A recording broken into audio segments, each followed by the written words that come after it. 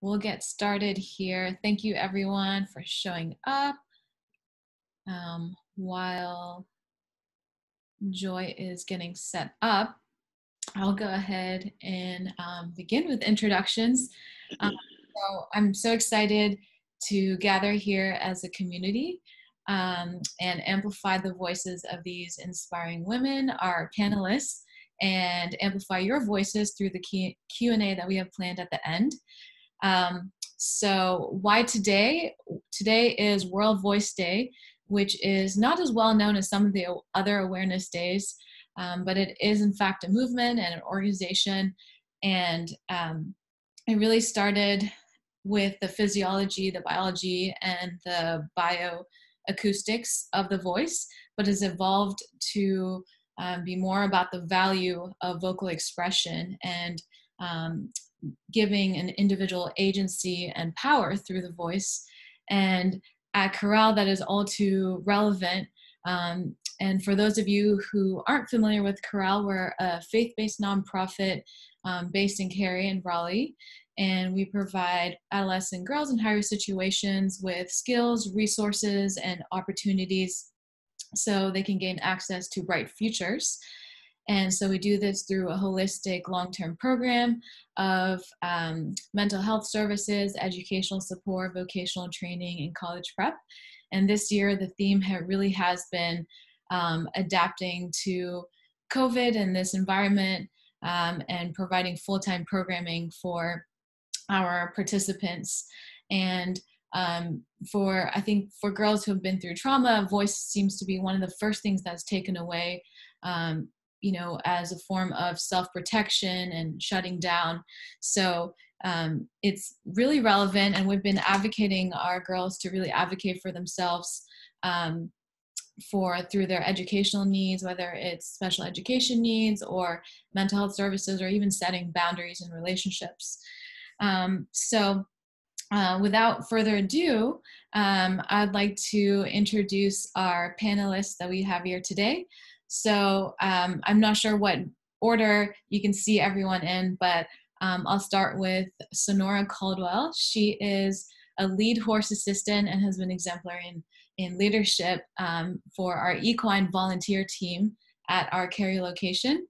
And then we have um, Victoria Smith, who's the founder and president of the Wake County Black Student Coalition and the leadership intern at Southeast Raleigh Promise. Um, and then Tracy Doaks, who is the CEO and president of MCNC, and also we're really lucky to have her on our board. Um, same with Jennifer Castillo, she's also on our board, and she is the director of youth and family engagement at Southeast Raleigh Promise. And then DJ Sinodis, who's a Corral participant, and also I'm going to throw this in there an amazing artist, poet, and author. Yep. and then uh, Joy Currey, who is our executive director and co-founder um, of Corral. Corral has been around since 2008. So um, we so to give you an idea of the flow, uh, we have three questions um, for the first chunk of time, and then towards the end we'll move into a Q&A. Um, for, for at 12:40 we'll switch over into a Q&A where y'all are invited to ask questions in um, the chat feature. Um, so without further ado, we will dive into the first question. Um, so we can start with Victoria, but feel free to chime in. So what is your big why? Um, what drives your purpose behind the work you do? And in general, what motivates you? So for me personally, um, I've spent a lot of my time, you know, working with like students as like with the Black Student Coalition and a lot of times um, through activism. I started kind of activism when I was in eighth grade, starting with um, like environmental justice and that sort of thing, and then eventually moved on to more focusing on like racial injustice and inequality and like what we can do as students to like activate that and like um, kind of break down this the systemic oppression um, of like POC. Um, and so throughout that, that work, you know, a lot of times I, and Jennifer knows really well, a lot of times I'm always kind of the young one at the table, or I'm always, you know, the kid or kind of seeing that angle. And so a lot of times when you are the younger one, a lot of times like your voice can be put down or seen and looked over.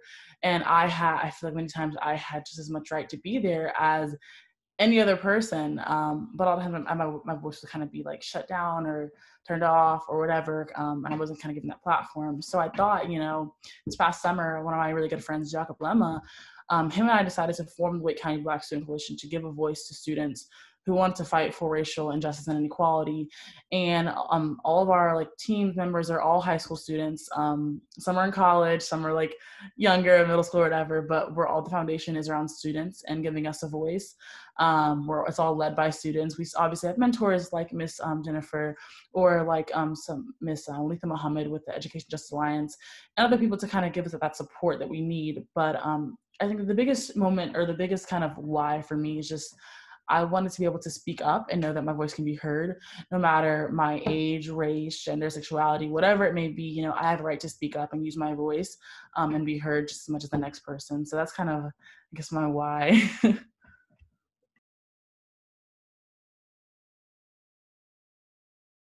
Jennifer, do you want to go next? Thank you, Victoria. Sure. Um, and and I'm just grateful. You know, we we see and hear the news all the time but then you hear young people like victoria share and i'm like okay it's going to get better.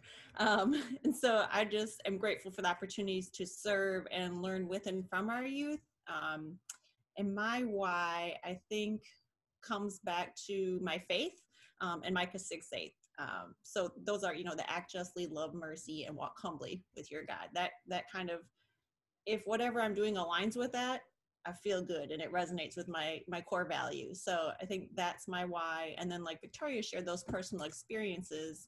Um, I was a first generation college student and I didn't know how to navigate those systems, but my Hispanic Latino advisor, um, he really did it with me so I could learn how to advocate and use my voice. And so I've always wanted to make sure to be that David Fleitas to everyone around me.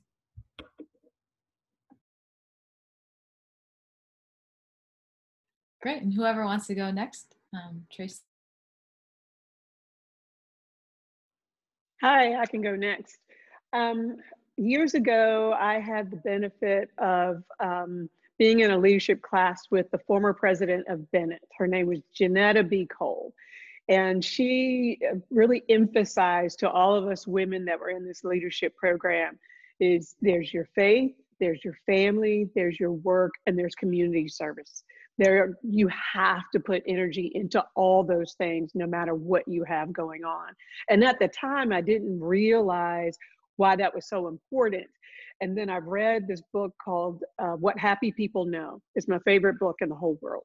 And it speaks about altruism and how you know careless you know, selflessly caring for others gives you immense joy. And I couldn't understand how that was happening, but it does.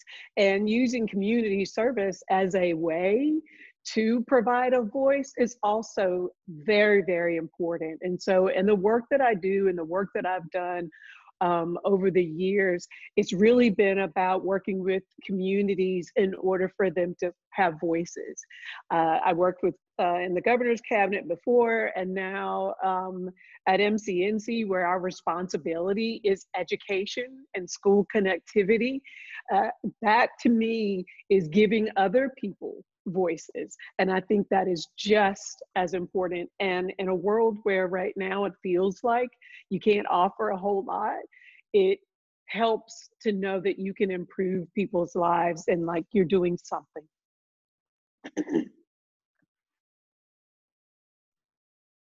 Thank you for sharing. Um, Jude, do you want to go next?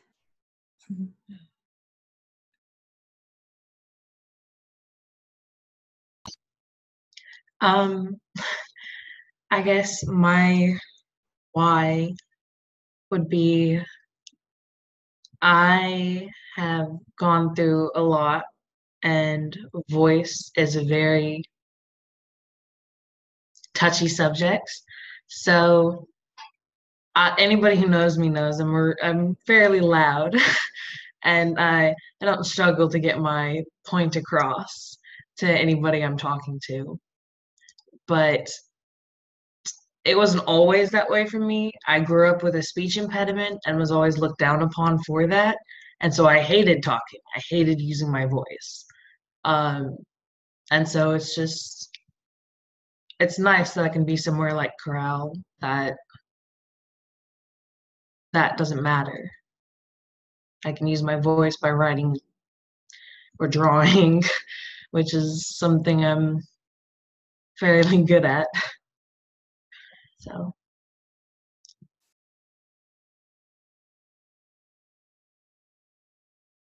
Thank you, DJ. Uh, Joy, do you want to chime in?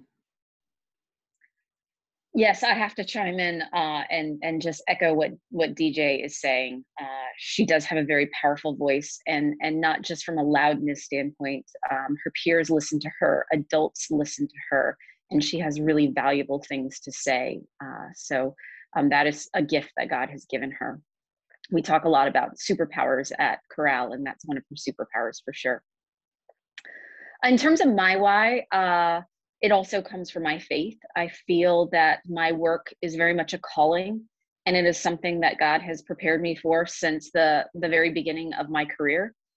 Um, God has given me uh, tremendous uh, resources, uh, both in my my personal life as well as my professional life, as well as my experiences.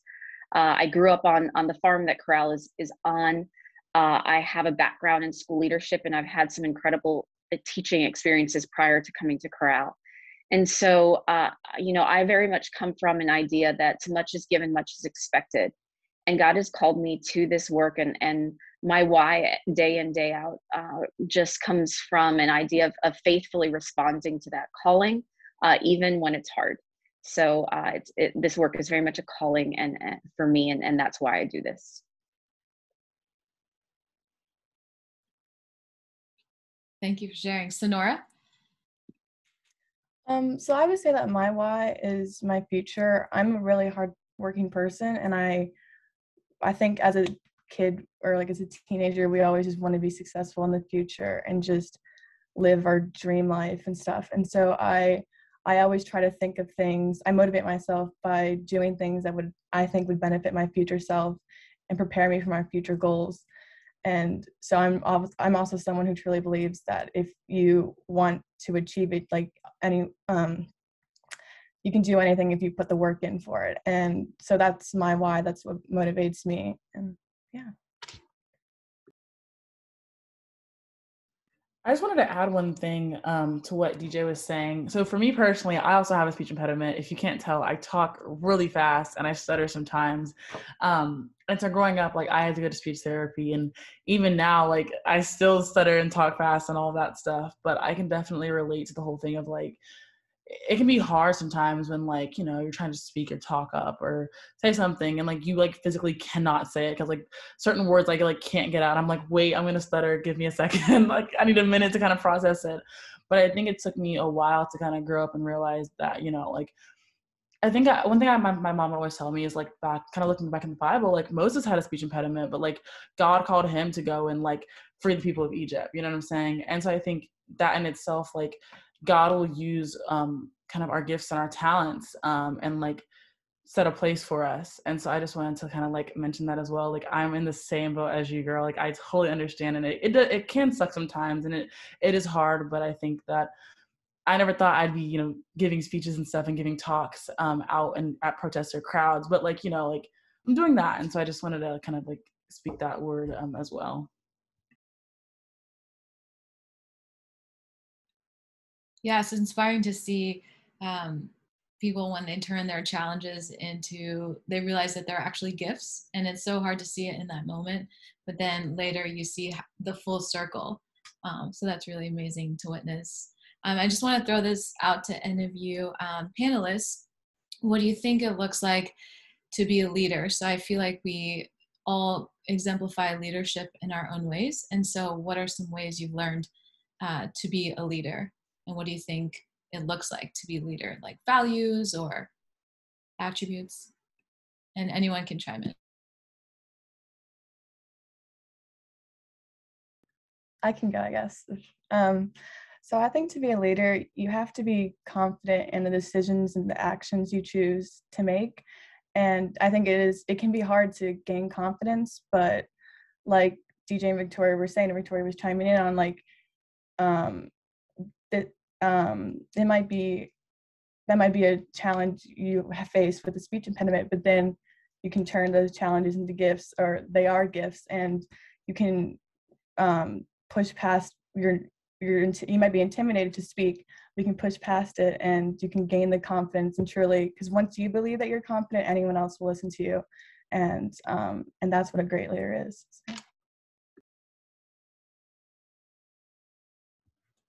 and i think there's lots of different kinds of leaders right? But i think to be effective you have to be self-aware which is something we don't all have the privilege like schools don't always do that right away and sometimes that doesn't happen in families with trauma. So i think that's something huge Corral works on is is that self-awareness.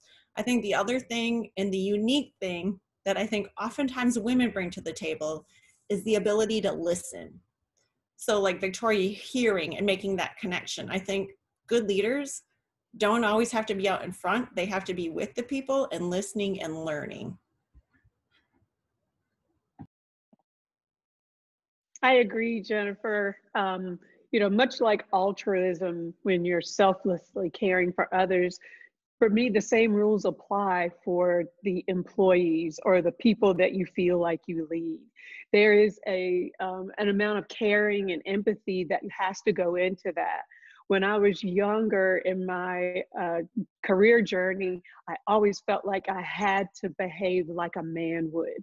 So not to show emotion and, you know, not to um, speak too loudly, all of those things. But what I found out is it just made me tired and silenced. And uh, and it was a struggle to continue doing that. And so as i got more confident as sonora is saying my voice got louder. More importantly it got stronger. And i think you know that is a really important point about leadership is finding your voice in whatever way that comes to you.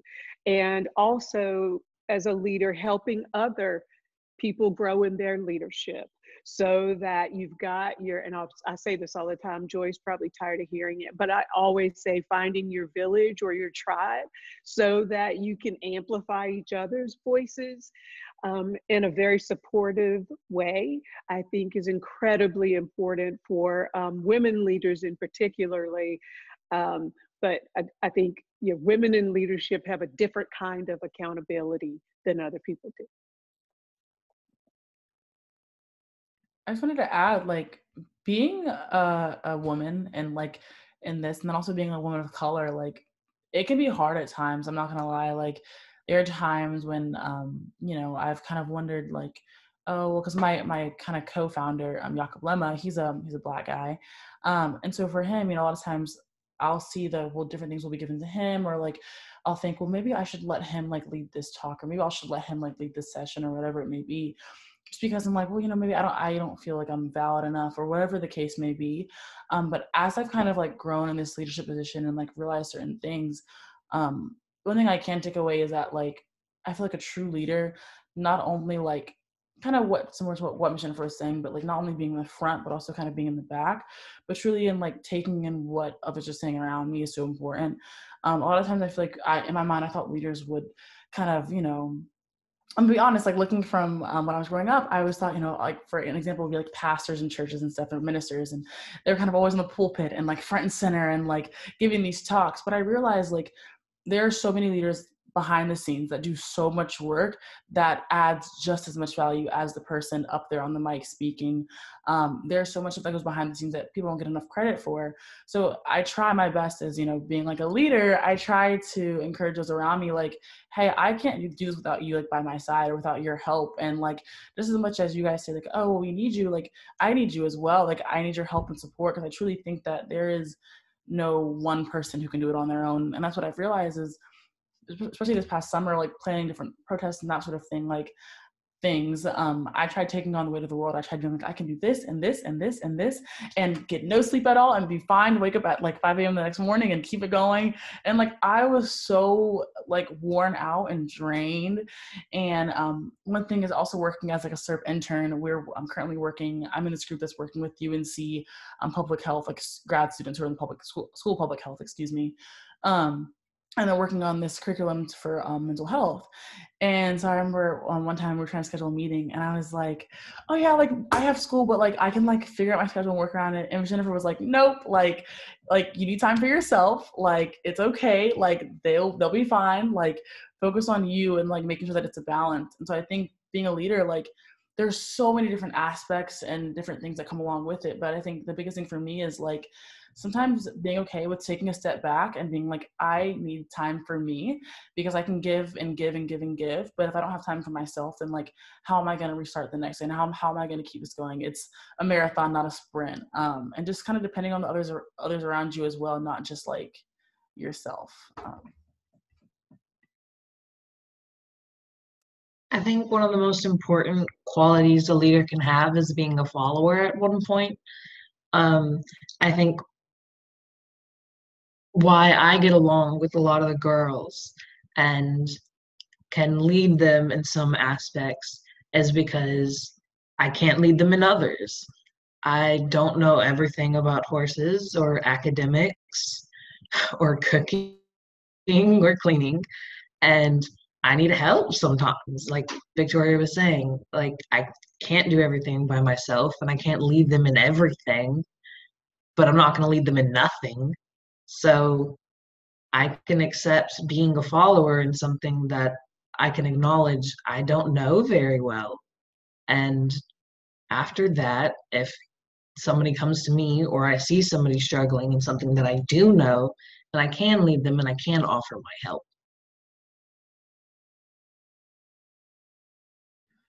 I just wanted to add like one of the biggest um takeaways that I've had, whether it's been like, you know, learning from, from different teachers or different organizers or whatever it may be, like just um, kind of being in the presence of other leaders and stuff. The, one of the biggest things that I've valued most is when after someone's done giving a speech or like working in SERP, we'll have a lot of um, guest speakers come and give a talk. And afterwards they'll come up and be like, hey, like, how are you doing? And I'm like, oh, like, I'm doing good. Like, how are you? And just being able, or a pastor on a pulpit or whatever the case may be, you know, having someone to kind of come and like humble themselves and kind of meet you like where you're at and just like talk to you like you're human and just kind of being a friend. Like, I think that is one of the most valuable things ever. And kind of what DJ was saying, like, kind of having that where you can like lead and but you can also fall at the same time where you can kind of take off that hat of being this leader and also just kind of be like a friend to someone and just be down to earth with someone. I think that honestly speaks more volume to a leader and who you are than being up there with a microphone or doing whatever it is you're doing. You know what I'm saying? Like, I think being able to kind of come down and just be like, yeah, like I'm just just like you. I make mistakes. I fall down sometimes, but I can get back up. Like that really speaks more rather than just kind of being front and center all the time of everything. This idea of followership is something uh, we talk a lot about at Corral, particularly because we work with horses. And uh, developing the skills of followership is so important in leadership. With horses, uh, there's not necessarily a, a, social hierarchy where you know there's one um, horse that's always in charge. They have different roles, and they they develop uh, more horizontal relationships within their herd, even though each individual does have a role uh, and some roles may look more like a leader. Uh, and then those roles are, are interchangeable at times even. And I think that's one of uh, probably the skills I've I've learned at Corral is is how important uh, that that not always being in sort of an alpha role is to leadership. Uh, we have a core value at Corral of uh, teamwork and, and community relationship at first is how we we relationship first and community is how we describe it and uh, the idea that when we're operating in a team or a community we're going to be so much stronger and so as a leader at corral i very very rarely make decisions kind of unanimously. It's often done in a with a teaming approach uh, with the board of directors or or our leadership team or amongst the the, the other teams that that operate at Corral, be it volunteer teams or operational teams or programming teams. And so this idea of leadership of being you know on on an island and, and to yourself at the, the very top of a social hierarchy isn't always a, a, a great model of leadership and particularly it's one that can be very difficult uh, for women and so kind of connecting the dots of what tracy was saying having having your group having your tribe having uh, a, a, group of people that together form leadership i think is a, a, a really important idea in leadership Yes, thank you for adding that, Joyce. That balance between humility and confidence, knowing when to listen, knowing when to speak up. Um, so, wanted to move on for time's sake to the next question. Um, how has this pandemic um, been for you? Uh, we've been in it for a year, and how have you overcome any obstacles, whether that's using your voice or stepping up in another way and feel free to go answer in any order.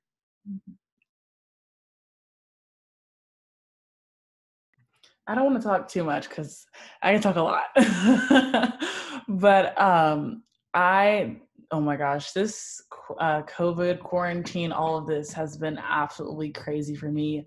Um, like I, before, I was saying that like I'm, I'm in my senior year. I'm about to graduate in a month and like 20 something days and i'm so excited but it kind of sucked um, if i'm being honest to have you know half of a junior year and then like none of a senior year um, be in person um, no prom you know none of these dances no homecoming football games like none of that um, and and so it, it, i'm not gonna lie like it really did hurt and it took a toll for me honestly because i am such like an extrovert. I love people. I love going out. I love having fun. I love just being, even just being in a room with people and just just talking. Like that. That's where I'm most happiest at. And so to have that kind of all ripped apart, where we're now, you know, on a screen, like that was really really hard for me. And I think it honestly made me kind of take a step back. I feel like this was a wake up call for so many of us. But I really had to take a step back and kind of evaluate my life. And even though, you know, I started at the out being like 17 and now I'm 18, but like even at 17, I was uh, going through COVID and stuff. I had to kind of look at it and say, you know, like, am I am I happy where I'm at right now? Like, what is my future gonna look like? Like, just kind of really taking a second, just kind of like stop and just like look, um, kind of from the outside in. And so I saw that like my mental health, I wasn't taking, I wasn't taking care of myself properly, like mentally, mental health wise, and like just wasn't really giving, giving me like what I needed in order to truly be successful. I feel like I was spending, I didn't really even realize it, but I was spending so much time focusing on school and grades and college and all these like different things in the future that I wasn't enjoying my present time now. Um, and so I was always, I realized that I was always looking forward to the next thing or the next thing or the next event or college or, you know, I, I want to go to med school and like focusing on that and like all these different things that are so far ahead. I wasn't even enjoying my like now and being a teenager and just enjoying this present moment and so one thing with that COVID, I think honestly taught me was just to be like now here in the present. Because sadly, you know, I did lose a few family members and stuff because of COVID, and that took a toll on us. Um, like on so many different aspects. But I think realizing, you know, that like it sucks to say it, but you know, I was talking about this the other day that I can, or any of us can pass away at any time, and we are we aren't given our next breath or our or tomorrow or any other day in the future. Right now, all I have is my present and what I've done in the past, but focusing on the now. And for me, I think it's important instead of to, you know, let these days kind of just go by and just get up and go to class and do my schoolwork and, you know, talk to my friends and go on Instagram and like kind of just like go in the motion to truly like enjoy every single small detail, whether I'm calling up a friend or facing my friend and like, hey girl, how are you doing? Like, how has your day been? Like, just want to call and check up on you and see how things going or going out with my, with my brother to go grab coffee or you know these like these small little things can truly mean so much and just trying my best to grasp onto these memories and truly like being present in this moment instead of focusing and and honestly worrying um, about the future and having anxiety over that instead of focusing on the now and present and my older brother um, he's super smart or whatever and he told me this quote I'm probably gonna say it wrong, but I think it was like um, if you fo- if you focus on the on the past, that causes depression. If you focus on the future, it causes anxiety. So you have to that's you have to focus on the now and the present. Um, I probably said that wrong, but you can look it up. and it's really so I mean that's just honestly something that I live by is just, you know, focusing on like now and being here.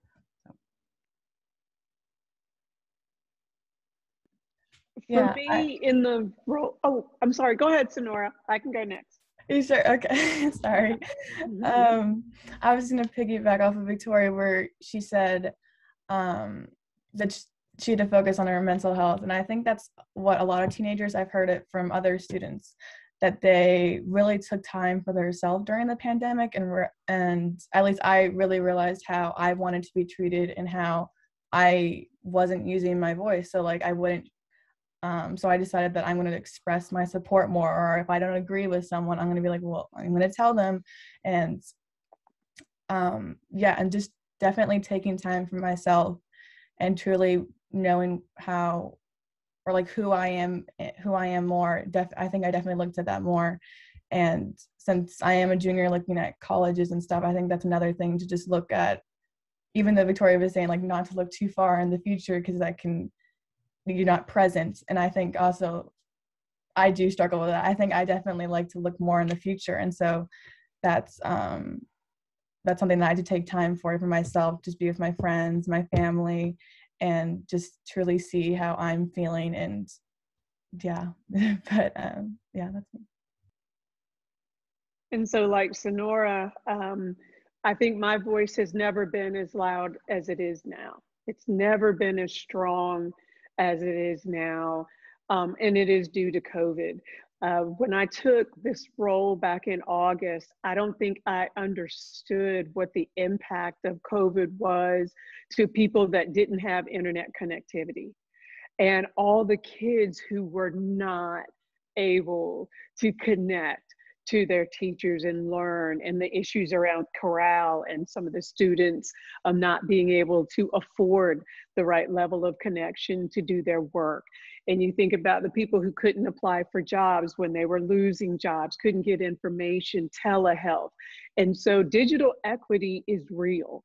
It it is so important right now and covid has just shined a bright light on it in a way that it never has. And so as an introvert um, in the past i always liked you know kind of being in the back and stepping out when i felt like it. And uh, now i have no choice I have no choice but to stand out front and talk about um, how important this is. And we're even modifying our mission and vision at MCNC because of that. We recognize the role that we play in this, particularly as it relates to education. And we will never have a better opportunity than now to help fix this problem. And so, um, yeah, I think I've found my voice in a way that um, I don't think I had before. And I think to piggyback on Tracy's comment, um, you asked about obstacles this year. And I think where obstacles can still turn into opportunities is in the big word of equity, right? We've been through this oh, yeah. COVID, but also racism. I, you know, it's been ongoing, it's nothing new, but I think people actually had time to pause and do something. So we're, we have not arrived, but I think the biggest obstacle for that I see a lot um, is that issue of equity. So you know, everyone has a part to play in that. We are all connected, and so I'm hoping together we continue to work on that to overcome um, whether that's digital connectivity, digital literacy. You know, you choose it. Equity shows up anywhere and everywhere.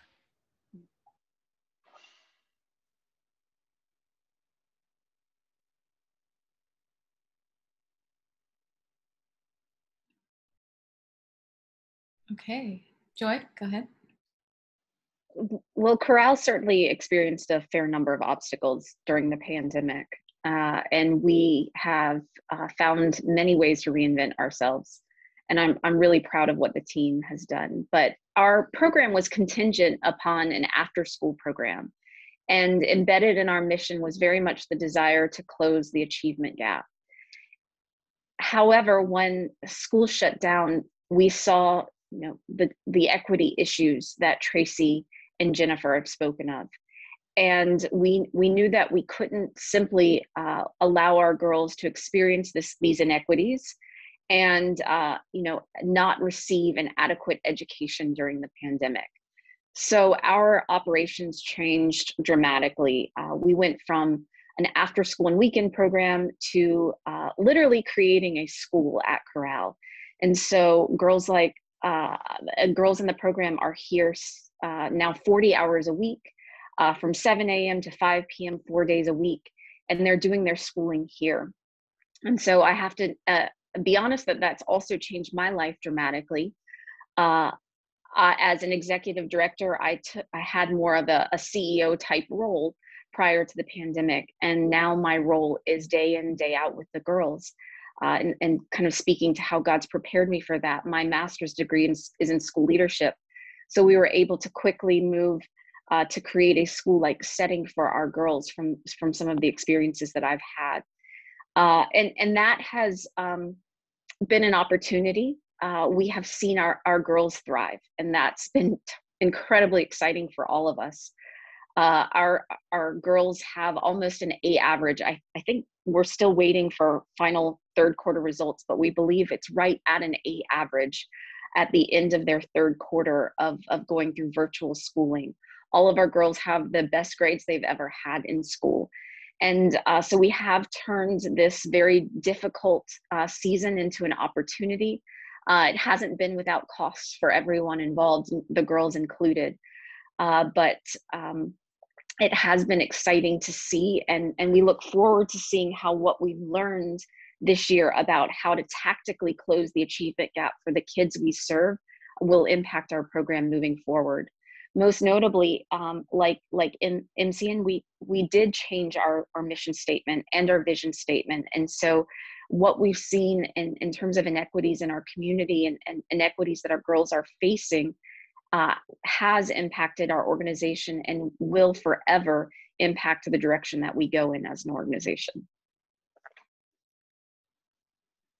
another testament to staying in the present and really facing the equi- the inequities that exist right here and now, despite what your 10 year, you know, vision was um, and adapting for that. Thank you. Um, so we want to move into before the Q&A from all of you wonderful attendees. Um, I know some of you have prepared questions. Some of you panelists have prepared questions for each other. So I'd love to give you the opportunity to address those now. Feel free to um, just jump on whenever you feel inclined. So I have one for Miss Jennifer. Um, so my question was being so heavily involved with social activism and fighting for those who can't always fight for themselves. Um, in the beginning, we kind of mentioned like our why. Um, but if you wouldn't mind speaking about like a time or experience when you kind of had that like aha moment and you knew that this was what you wanted to do for the rest of your life. Um, and kind of when you when that moment kind of like clicked and you were like, this is what like I'm gonna do. So. I love it. Thank you, Victoria. Um, so I think there's there's many moments in my life where that happened, but keeping with the theme of equity and education, um, I think part of it was in high school. Um, I hated I, I, hated school and I, I, thought I hated learning, but I hated school because I love learning. Um, and so finding that moment where I really found um, service learning was where how I learned differently and how it became real. Like it has to make sense to my brain in order for it to really absorb it. Um, so that was a big, big part of my learning and how it affects me. And then the other part is I shared a little bit about being a first generation student. Um, but David Fleitas, who really, um, I never would have finished college without his advocacy of helping me get financial independence. Um, and so that's a huge why I do what I do because someone made it possible for me. I think everyone should be able to live up to their potential. Um, and so I want to be able to share that opportunity with whoever I can so that the world can be a better place when everyone has their opportunities. That reminds me so much um, of this quote that one of um, actually like our interns, or not interns, I think he's like he um, I forget his name, but he goes to, he went to Elon, and I remember one time we were talking about how um, somebody asked I forget how he I'm bad at quotes, but it was along the lines of talking about like um, I there's this old man, this little boy, and the old man was like planting a tree. And so the little boy went up to him and asked, like, why are you planting the tree? And he said, because I have, um, I picked fruit from other people's tree. So now I'm planting my own so that generations can come and pick fruit from my tree. And the whole thing of like passing that on, like, I think that's so cool. And I think, I think you're definitely doing that um, now. and I really appreciate that. Thank you. Thank you. Thank you. And I have a question for you because I want to learn, and hopefully other people want to learn too. Um, and we talked about this a little bit about voice and amplifying voice. So, my question is what do you think is most important for adults to learn or remember when it comes to creating like intergenerational youth and adult partnerships in in leading for social change? Like how can we best make space or support so that all voices are equally valued? So for me, um, growing up, I think it was really hard because I initially went to like an all white private school growing up in like a little small town um, from pre K through um, I was in fourth grade. And so for me, like I am 5'10, like I am a tall black girl. And so that was really hard for me growing up just to kind of, I, I definitely stuck out like a sore thumb, um, I would say. And so kind of mentioned before, like I would I'd be really quiet. Like I love talking, but at the time I was kind of like, oh, like I didn't feel comfortable. I didn't really feel like accepted or like valued enough where I could feel like I was able to speak up and truly be like heard and listened to. Um, and so I think one thing that I really do applaud SERP, and I, I wish I knew more about Corral, but you guys sound like amazing. but um, one thing that I really do applaud SERP is that every time that we go and have these different meetings or we set up these different spaces and stuff, like one thing that I really, really like love and, and honestly like value so much is the fact that Jennifer, like you're always saying like we're here, like whenever we have guest speakers, you're always saying we're here to learn from the students. So it's not just about someone i think it's so easy for someone to come and in classes would happen all the time where you know traditionally you have a teacher that comes in you go, go to your class she lectures about some topic you take notes okay next class that's it and i think that's so wow that might have been like effective back in the day, I think now it's so much more about like learning from each other and learning from each other's different experiences and takeaways and stuff. So I think the best way to honestly make space is probably just opening the door and, and setting these kind of ground rules of like, I'm not here to just teach you and just to kind of shove information down your throat, but like I want to hear back from you as well. And I want to hear your thoughts and what you're feeling and your emotions and just honestly like acknowledging that this is a safe space for anyone to speak um, and and that your voice will be heard and listened to and we're going to be respectful. I think that's the biggest thing is that it's one thing to kind of say this is a safe space but to then take action and show like if something happens and kind of calling it out instantly and saying hey like actually that we value the voices of all students like please don't try and shun another student or try and like discourage someone else's voice. I think actions can speak so much louder than words. So truly making that safe space is so monumental and truly listening um, to students and stuff. That's so monumental and like having them feel safe enough to actually use their voice and speak up. Um, but yeah you guys do a great job at SERP with making space for students so that's why I, I love going there. It's it's school is one thing but SERP is definitely something else that is i actually enjoy doing so yeah. I enjoy learning with you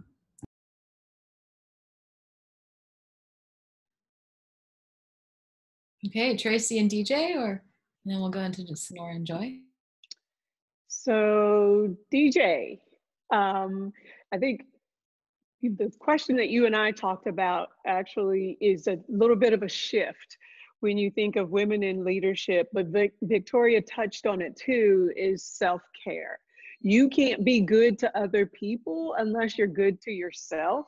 And that may mean stepping back and having a hobby or a way to escape so that you can recharge and come back.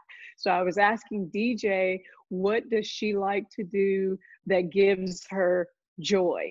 Now, this might be a gimme question just because she talked about it a little bit, but I would love to hear more about that. Um, well, I'm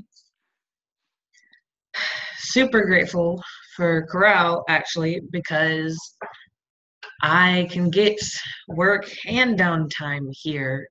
Um, working with the horses can definitely be work sometimes, but I don't.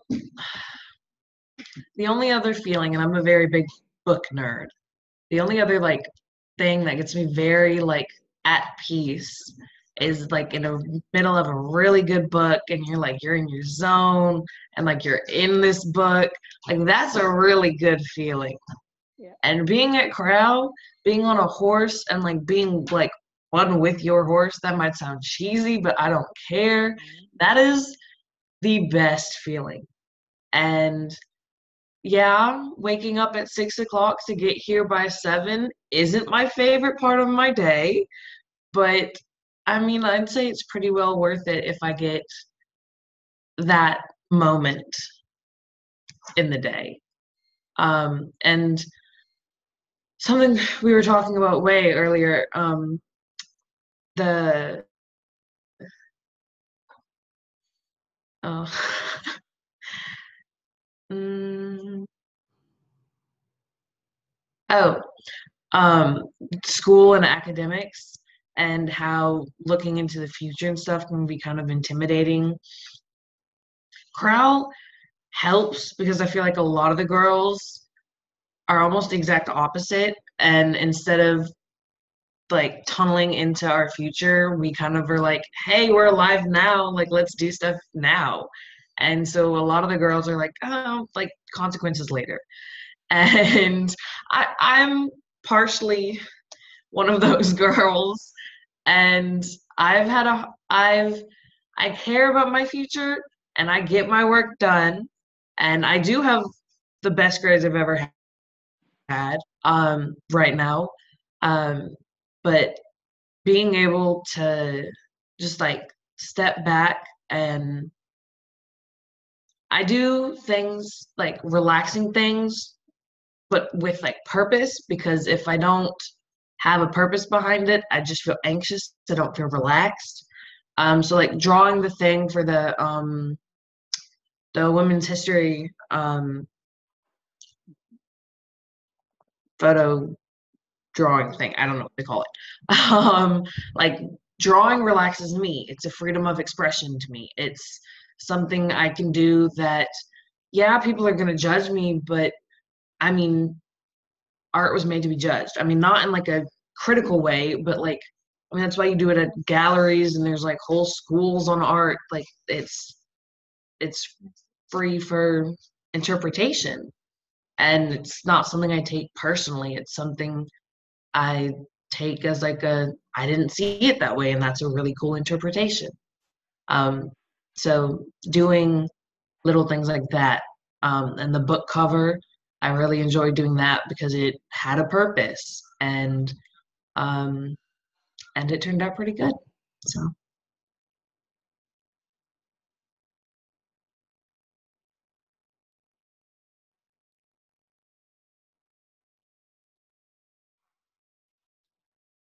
how um I don't know how long you've been on the corral board, but I was wondering how the experience of like being on the corral board um, was like is different than other jobs you may have had.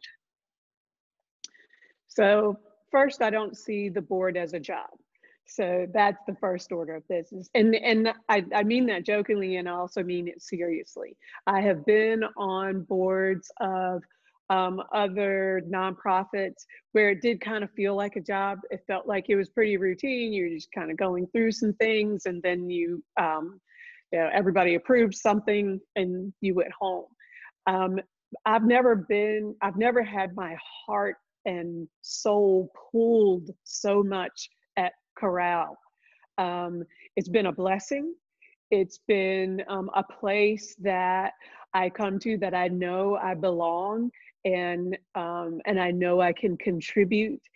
Um, and that feels really good. And to your point, DJ, you know, you knowing that there's something behind it. You're not just donating your time and walking away. You know, there's a chance that what you're doing by extension can really help someone can help one of the girls that you know that's out here really struggling and that's a really good feeling i will say joy and the rest of the board are the warmest um, spirits I've ever met in my life. And again, it just feels like a blessing. It's feel it feels like God led me here, which is the main reason that I stay, even though my schedule can be so crazy. It's like, ah, I gotta carve this time out because that's exactly what he wants me to do, and I'm always the better for it. So I'm learning too, I'm getting something out of it too, and I really love being on this board.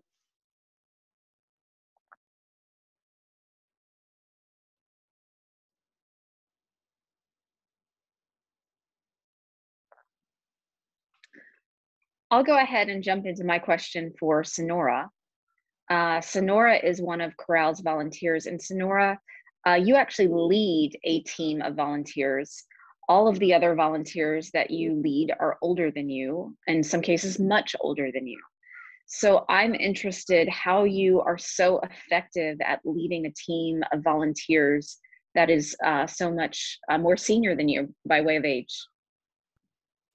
Um, well, since it's dealing with i'm very passionate about horses. That's what i want to do for the rest of my life something with horses. And so when dakota gave me this opportunity i honestly i was so happy and i took it immediately because i knew this was something that would better my future and it would help it would help me get the experience that i want. And so when so sometimes it is intimidating when i started to train the volunteers to become a volunteer corral and work with the horses, it can be intimidating because they are older than me. So I feel like they're going to be like, why would I take older, older um, orders from you? Like, why?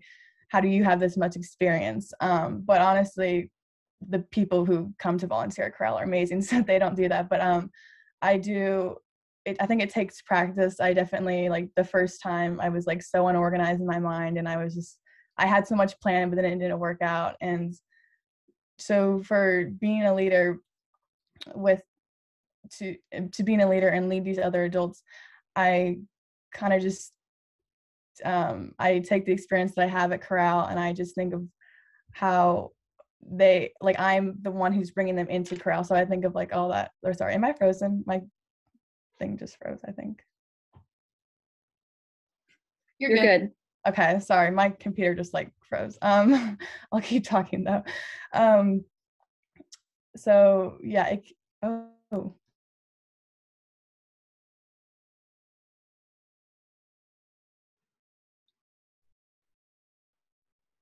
Looks like Sonora did freeze. Um, but while she is unfreezing, if you want to drop your question in the chat box, um, as an attendee. If you have any questions for our panelists, I know that Jennifer and DJ have an obligation at one. So we have about seven minutes and maybe one of the other panelists has to drop off too. Um, so feel free to pop any questions that you have in our chat or you can use the Q&A feature of this webinar. Um, I do have one question that came in um, that said, do you think leadership will change when we begin to serve boys, if and when so? Um, that seems like a question for Corral. So I'll let anyone, I'll let Joy. I um, was very interested in this question. Um, I am very strong opinioned about um, gender, sexuality, and race, like all of that. Like, um, I don't really have, obviously, I'm one of the girls. I have no, not no say, but I mean, I'll graduate and I'll go to college and I'm not gonna like stay here forever. You know, hopefully I'll come back to work here. But um I I feel like gender, age, sexuality shouldn't really matter. I mean, we're not going to take college students, obviously. This is a high school program and middle school. Um, but boy or girl, they or them, he, she. Like, I don't think it should really matter how you lead them unless they specifically ask and they have a trigger and they tell you that the way you're leading them is hurting more than helping them but that's on a personal specific time like and place a what if And if I'm being honest, everybody should be treated the same. And with some um, differences, I know that teenage girls are different from teenage boys, but a matter of leading, they're both human beings. That's not, they both have emotions and feelings, and both genders can choose who and what they want to be. So, no, I don't think leading should change anything um, about gender. You know, not one of the board members. Thank you, DJ. Um, and before anyone else answers, I want to make sure, Sonora, I think you had a question for Joy. So I want to um, acknowledge that and then we'll move on to more questions from the attendees. Thank you. Sorry about that. Um, so, Joy, my question since you now have such a successful co founding of Corral. I was wondering what was something that you stressed about when you were younger that you wish could go back and just be like, it's all right, it, will work out? Uh, let's see i guess i really resonate with um, some of, of your stories about stressing about your future uh, i spent a lot of time uh, planning my future and where i was going to go to college and my career in particular having this concept of what i want to be. And uh, that's something that i really try to unwind with my own children of this this concept that that we're going to grow up and all of a sudden we're going to arrive at something and we're going to be something. Uh, growing up is an iteration. It's a constant iteration. We're constantly all evolving. I will be uh, until uh, until i'm i die. And and so when we think about our our careers that's an evolution as well and god places us at a certain place in time and just gives us opportunity and builds upon that so I certainly didn't know uh, that I was going to become a teacher. I definitely didn't know that teaching would lead me to where I am today. And I have no idea where God is going to call me to in the future. And so just being uh, willing to allow God to, to form your future and just preparing yourself uh, for that in the moment, as we've spoken about uh, earlier in this call, is, is I think something I wish I had done more when I was your age. and and while while i have the mic i will pivot to the question of, of gender and leadership uh, because i do think this is an important topic for Corral as well uh, we are a gender specific program but when we're when we're talking about leadership i was just actually talking to my husband about this today we have both men and women on our board of directors and i feel strongly that that's an important part of our leadership. I feel that there's so much balance when women and men come together to as leadership to make uh, uh, to, to make decisions. And i feel that a, lot in our corporate world and in our society the the overbalance of men in leadership really does a disservice to organizations that women have such a powerful perspective on a different leadership style. And when that balance is achieved in leadership really amazing things can happen. So uh, certainly our decisions about who who we serve and, and gender will evolve as Corral grows.